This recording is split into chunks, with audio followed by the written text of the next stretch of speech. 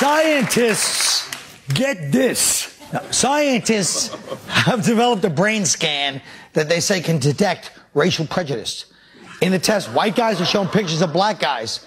Should everyone be scanned for racism, Ardie? Well, I think the test is unfair because they showed these white guys pictures of black guys to see if they were uh, prejudiced.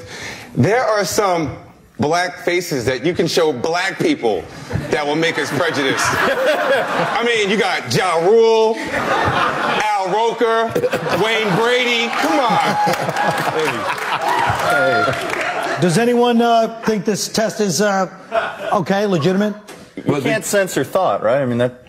But it's scientists. that means they're smart. I think if you're trying to screen, if you're trying to screen prejudice, people who are like hateful or racist tend to be stupider. So you could just use trick questions like, if a guy's speeding and he's driving an Escalade and eating fried chicken, are you more likely to give the ticket, brutalize with nightstick? Excuse me. Um, Yeah. What's an Escalade? Did you say?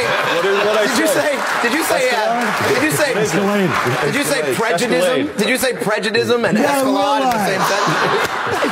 I did. You know, the thing, I'm those. I'm that guy.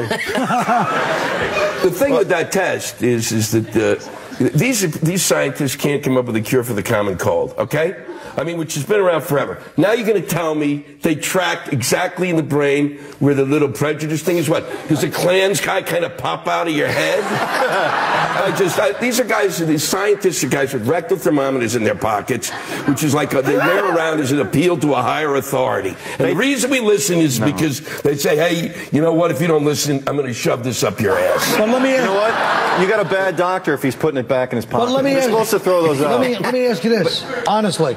What would you do? Struct, this is just a structural question. If you had a damn show, and then you bring up a subject like that, and then somebody like yourself, a respected comedian, comes on and dismisses the entire subject, that means then you have to drop it and move to the next subject. Can you see my position?